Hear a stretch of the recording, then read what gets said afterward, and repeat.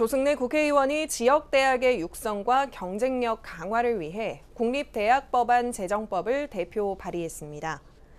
이 법안은 조승래 의원의 21대 총선 공약으로 국립대학의 목적과 책무, 총장 운영에 관한 사항, 국립대학에 대한 지원 등 국립대학의 전반적인 사항을 규율하는 내용을 담고 있습니다.